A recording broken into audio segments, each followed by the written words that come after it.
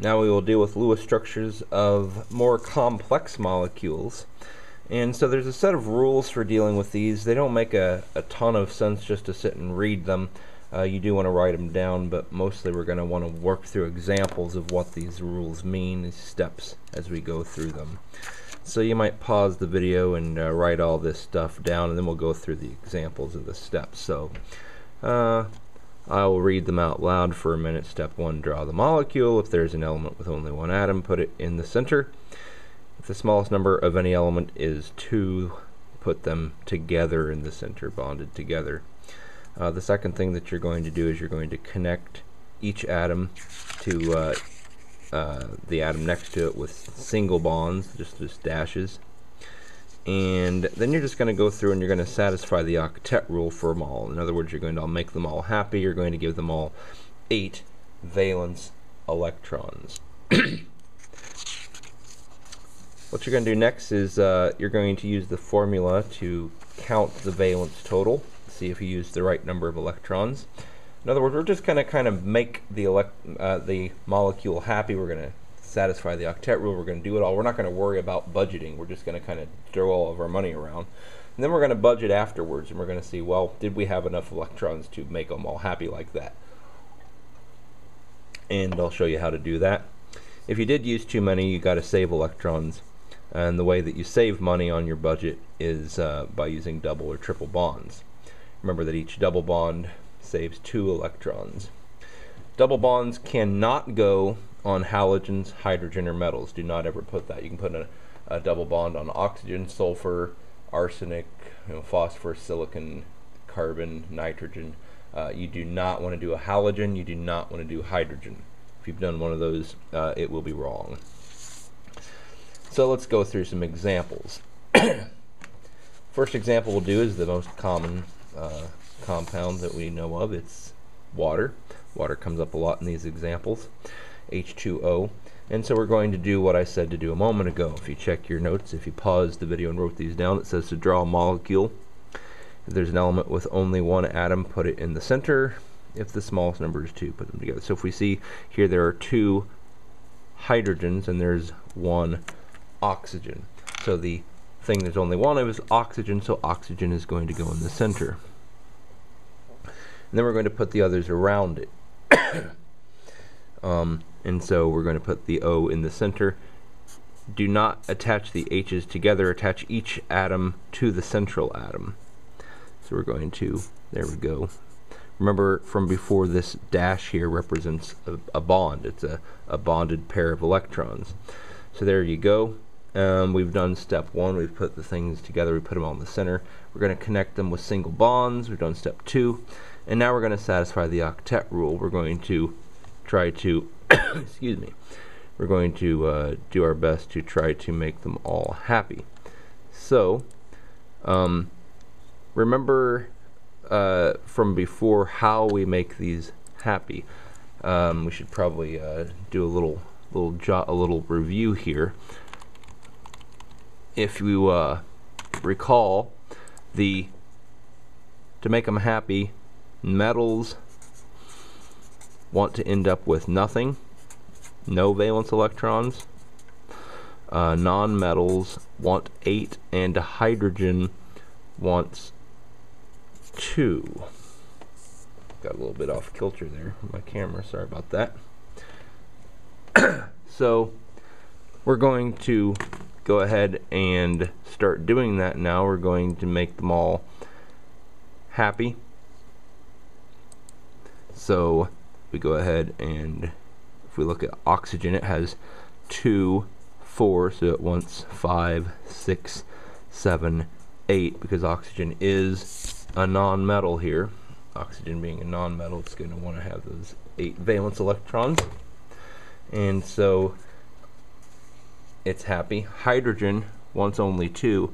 A dash, remember a bond counts, there are two electrons there, so it's already done. Hydrogen is done, oxygen is done. They both, they all have what they need.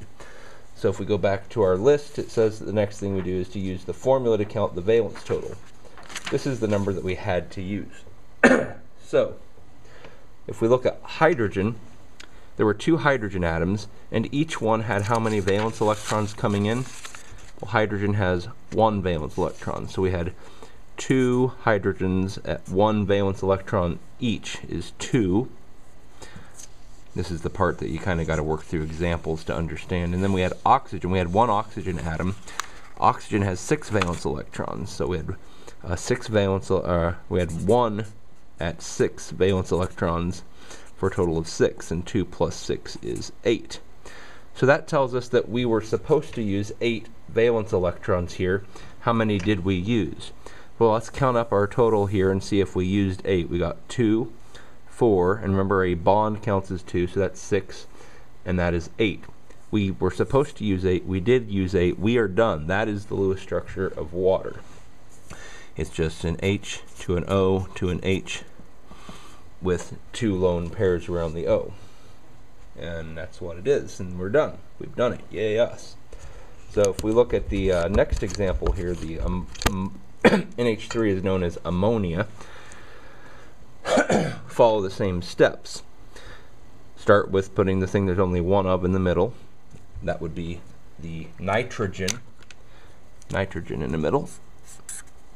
And then we're going to put H's around it. H, H, H, just kind of keep the thing there's one of in the center, attach each of the other things to it, not to each other, but to it. And then we're going to try to make them all happy, right? So let's count them up. So around nitrogen, we have uh, one, two, three, four, five, six. So we'll make it happy by giving it seven and eight. And if we look at the hydrogen, hydrogen is only going to want a two, and it's already got a dash. Notice with hydrogen, once it has a dash, it's done. So it can only bond once, so two. So it's good, it's good, it's good. Now let's count up the totals here and see if we've used the right total. We've got, uh, if we go over here back to the valence total, we look for nitrogen. Nitrogen back here on the periodic table has five valence electrons. So, and there's one of them. So one times five is five. Hydrogen has one valence electron. And so one uh, let's see, 3 times 1 is 3. So we were supposed to use 8. Now these two examples both came out with 8 to begin with. They won't always do that. So uh, that's that. So we were supposed to use 8. How many did we use? 2, 4, 6, 8. We're good. Yay. So that is the Lewis structure of ammonia. It's got three bonds to a hydrogen and a lone pair above it. Next example is SO3. so let's look at that one here. Uh, we look for the atom that only is going to go in the center, which is obviously going to be S. We put a bond to an O, another bond to an O, and another bond to an O. and then we're going to go through and we're going to make them all happy, right? What was that? I don't know what that was. There we go. Let's try this instead. Um, let's see. Sorry about this. Now it's counting up. Oh, here we go. There we go.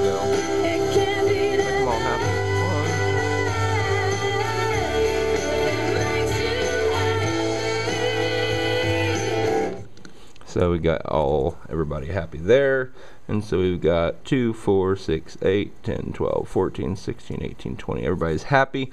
Uh, so now let's go back and count up the valence totals. The valence totals are sulfur. We've got one sulfur atom. If you look over here, sulfur, there is uh, should be six valence electrons in the sulfur. So we've got one at six, one sulfur atom, six valence electrons in it. And then we look for oxygen. Oxygen is also in that same column, so it also has six, but there are three of those oxygen atoms. 3 times 6 is 18. So if we add those up, we get 24. We should have used 24. So if we count through here, 2, 4, 6, 8, 10, 12, 14, 16, 18, 20, 22, 24, 26. We used 26, but we should have used 24. So we've made a deadly error. So what are we going to do about this? Well, if we go back to our rules over here, it says if we use too many, which we did here, you can save electrons by using double or triple bonds. Each double bond saves two electrons. So if we look through here, um, we say, okay, well we need to save two electrons because we used 26 and we needed to use 24. So apparently doing one double bond will help us. Well, how do you do that? Well, what we're going to do is we're going to just turn one of these single bonds, it doesn't matter which one, into a double bond.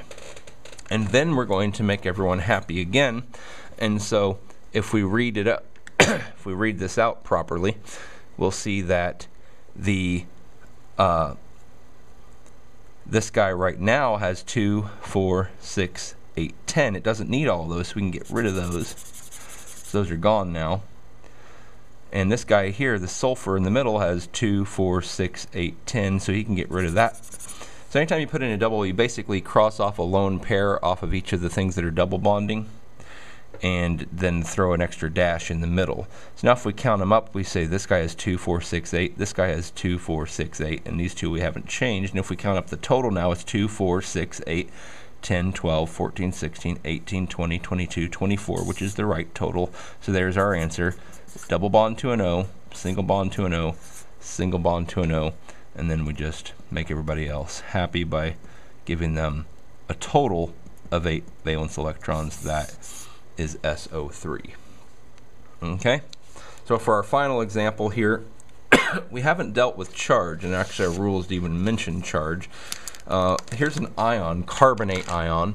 We're going to have to do carbonate ion a little bit differently because it's got that charge to deal with. So what are we going to do about that charge? Well, uh, we'll come to that in a minute. So let's start out the regular way we've been doing it. Let's start out with um, with um, putting the thing there's only one of in the center, the carbon. Then we're going to dash 2 and O, dash 2 and O, dash 2 and O. And so now we're going to uh, just go ahead and make everybody happy, right?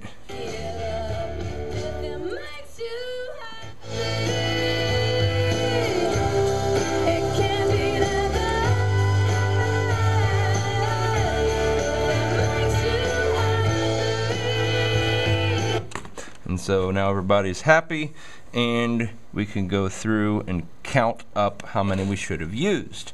So carbon, if we look on the periodic table, has four valence electrons. There's only one of them. Oxygen has six valence electrons, but there are three of them. Three of them. And so that's 4 plus 18 is 22. We should have used 22 electrons there. Well, how many did we use? Well, we used 2, 4, 6, 8, 10, 12, 14, 16, 18, 20, 22, 24, 26. So um, we have used the wrong number. But we need to stop now and actually think about this charge. Well, what does a charge mean? Well, a charge means that you have a different number of electrons than what we would have counted. It means you have either more or fewer. Well, you have a negative charge, that means you've gotten more electrons. Remember, negative electrons are negative, so if you have more electrons, then uh, if you have a negative charge, you have more electrons. So we have two more electrons here because it's a negative 2. Had this been a positive 2, we would know we would have two fewer electrons. So as we're counting these up, we counted correctly for the CO3, but we didn't account for this charge. And the charge says we have two more electrons. So we don't have 22, we have 24 electrons. Now we go back and count and we see we got 2, 4, 6, 8, 10, 12, 14, 16, 18, 20, 22, 24, 26. So we still have a problem, but not as big of a problem. We only need to uh, get rid of two electrons, which we can do the same way did, we did last time. Put in a double bond, cross off a pair from that guy, cross off a pair from that guy, put the double bond in between. Now you've got the Lewis structure of carbonate ion, which looks something like that. And the whole thing has a negative 2 charge, so we'll include it inside of that bracket.